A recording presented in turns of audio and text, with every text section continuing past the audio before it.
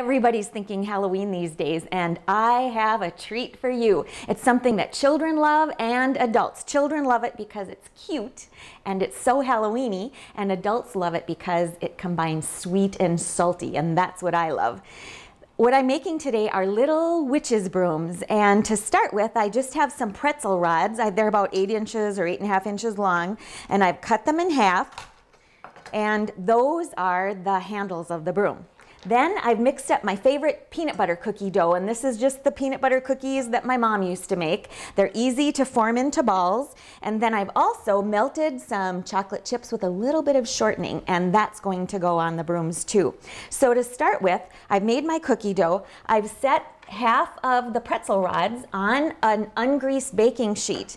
And then I'm just making balls about an inch and a half. I love using these little scoopers that are little portion scoopers, almost like a little ice cream scoop, because then you get every one the same size. And this one is one and a half inches. And then just kind of press it down on the cut end of the pretzel.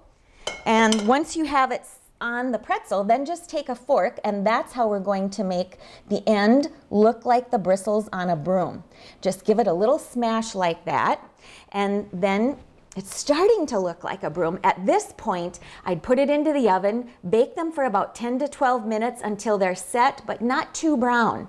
Then I let them cool completely, and once they're cool, I've melted about two thirds cup of semi-sweet chocolate chips with just about two teaspoons of shortening.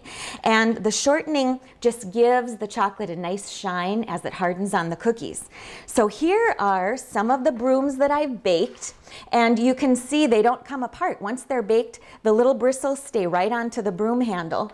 And then I'm going to take a little of the melted chocolate. Now when you do melt chocolate, either use a very heavy saucepan like this, or you can put a glass bowl over some a pot of simmering water and it'll melt real nice that way too.